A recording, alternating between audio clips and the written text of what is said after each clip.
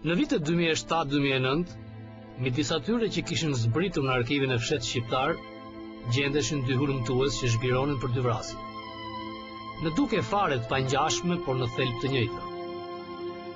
Ngaqë ndriçoheshin ndryshe, sipas një përfytyrimi të njohur antik, e kishin lehtë të zbulonin atë çka ishte vështirë për të tjerë, të fshehtën e mbuluar. Pas ngjitjes lartë prej pusave të arkivit, hulumtuesit njëri pas tjetrit botuan dëshmitë e tyre. Libri i parë, Disidentët e rremë, i Sadik Bejkos, i dyti Nëngat o tu mi, Vëlla Barot. Të dy këta libra, ndonëse i pari shkruar me mjeshtëri, e i dyti disi shkujdesshëm, Për nga të vërtetat tronditëse që sillnin, do t'i bënin nder çdo vendi ish-komunist nga Baltiku në Adriatik.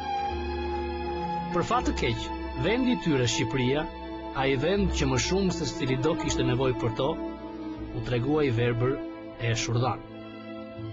Shpjegimi u kërkua te historia e njohur e pasqyrës që i vihej përpara një populli me ndërgjegje të gjymtuar, kur veprimi i parë i këtij ishte kthimi i kokës për të mos parë të vërtetën, i dyti thyerja e pasqyrës. Autori i Disidentëve të rremë i kushton vëmendje çdo imtësie, çdo fraze në rrëfimin e vrasjes. Dhe këtë e bën për një arsye madhore. Vrasja e kryer prej Kinsit te Bregu i Kënetës në vitin 43, sado që në pamjen e parë mund të duket e rëndomtë për një kohë të tillë lufte, është një vrasje e veçantë. Është një krim fondator, siç u tha, një gjak i derdhur në themelet e tiranisë së ardhshme shqiptare. Vrasjet pas shpine të vitit 43, shumica e të cilave nuk janë zbuluar ende gjer më sot, ishin programi i parë i krimit mbi të cilin do të bazohej gjithë ngreha e rendit komunist. Vrasje pas shpine me motivin e përjetshëm të smirës, të fshehta, të maskuara me tjetër motiv, do të ishin thelbi i historisë të padukshme të diktaturës. Për të kapur diçka më shumë nga ky kryengulth makabër, le të kthehemi prapë te nata e ftohtë e shkurtit e vitit 44. Ramicë të Vlorës. E lidhur me litar, midis baltës, bagëtive dhe pisllëkut, në haurin ku mezi bën dritë një kandil i zbehtë, Ramona e brishtë shumë herë do të ketë sjellë në kujtesë gjyqtarët e saj. Ndoshta shpresa për mëshirë do të zhvendoset nga një fytyrë te tjetra. Ja Hysni Kapo, shefi i tyre, ka gjasë që edhe po t'u besojë pëshpërimave, Të mos i quajë për të madhe mëkatin ngaqë ai vetë e ka lënë gruan e dhënë me mblesëri në katund për një tjetër marrë me dashuri. Dhe ja i dyti, Manush Myftiu, kthyer nga Italia, ku ajo ka qenë gjithashtu për studime, e sidomos student i mjekësisë, nuk ka si të kërkojë dënimin e saj. Aq më tepër, të tretit, Bilbil Klosit, ardhur nga Franca, ku ka studiuar për drejtësi, e gjitha kjo s'mund t'i dukej veçse groteske. Sa për të katërtin, Dushan Mugoshën, serb nga Jugosllavia, atje ku flirtet dashurore nuk mallkoheshin aq fort, e për më tepër i dërguar i Kominternit famëmadh, do të duhej t'i ngjallte më fort shpresën, sikur një dyshim i errët të mos e gryente. Pastaj me radhë, fytyra të rëndomta, për të cilat s'di ç'të mendojë, gjer te komandanti puritan e kokëshkretë i brigadës Shefqet Peçi dhe ndihmësi i tij Hekali, një djalë i ri, ish ngarkues shkarkues porti në Durrës, që e adhuron komandantin e vet hijerëndë. Prej këtyre të dyve ka gjasë të ketë frikë, e sidomos tek ish punëtori i portit, që pothuajse nuk e njeh. Siç do të dëshmohet më pas, për një rreng tepër trillan të fatit, është pikërisht komandanti i ashpër Shefqet Peçi, që nuk do të ketë ndonjë zell për dënimin e vajzës. Do të shkojë te Hysni Kapo e do të kërkojë të pyetet partia. Por përgjigjja e këtij të fundit do të jetë partia jam unë. Kurse befasimi i madh që do të vijë prej D. Hekalit, zëvendësit, i cili pa kurrfarë lëkundjeje do të jetë gjer në fund kundër dënimit të vajzës. Nga anketa e vitit 2009 e V. Barutit, natyrshëm del pyetja, Përse Hysni Kapo bashkë me të dijshmit, tregohen kaq të egër, e përse të padijshmit, përkundrazi më të dhembshur. Këtu nis ftillimi i çështjes. Pyetja mund të shtrohet ndryshe. Ç'dinte njëra palë më shumë se tjetra, ose përkundrazi, ç'dinte tjetra më pak. Me sa dukej, pikërisht për këtë të fundit, në mungesën zinte fill enigma.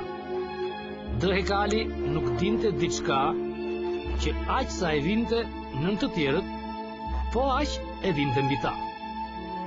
Ai nuk dinte me sa dukej urdhrin e fshehtë që sipas V. Barutit kërkonte vrasjen me çdo kusht të Ramonës. Sipas këtij motërzimi, komandanti me zëvendësin tregojnë mëshirë për vajzën, ndoshta për shkak të mosdijenisë së urdhrit.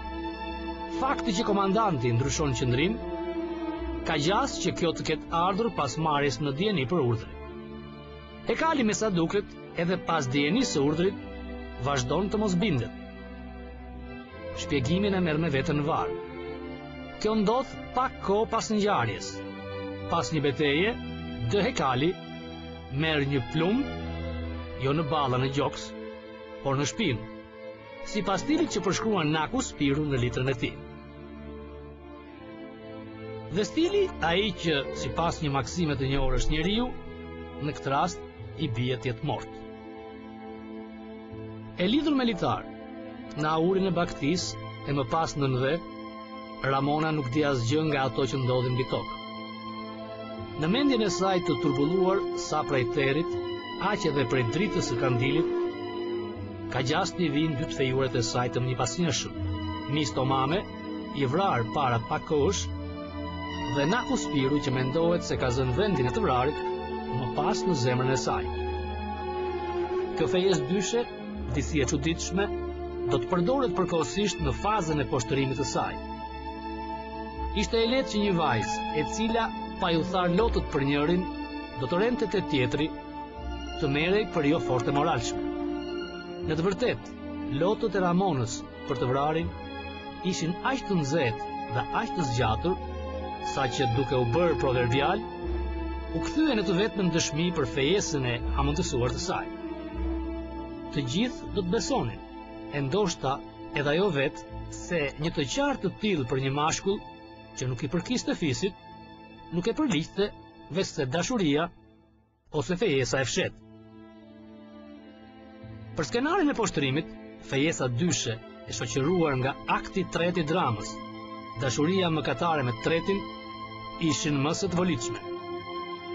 Do të donte apo s'do të donte Ramona, i fejuari i saj i dytë, ai i njëmendti, Nako Spiru,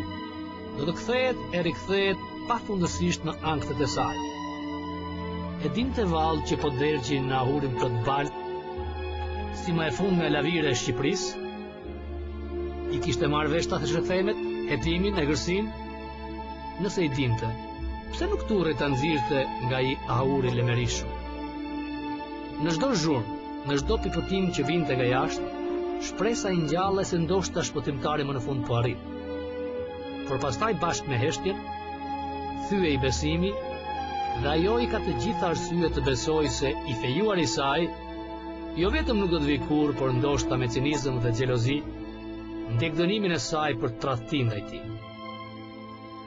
Anketa e Barutit nuk është e butë me Nako Spirun, por në asnjë rast nuk sjell ndonjë dëshmi për cinizmin e tij. E kundërta njoftohet prej shumë dokumentesh e sidomos prej dëshmisë së Liri Belishovës, shoqja e ngushtë e Ramonës dhe gruaja e ardhshme e shefit komunist. Thelbi i të gjithëve është i njëjtë. Nako Spiru e ka përjetuar vrasjen e së fejuarës si një tragjedi.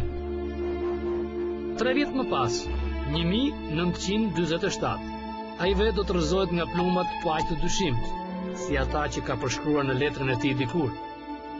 Vrasja, e paraqitur si vetëvrasje, do të ndodhë në zyrën e tij prej ministri.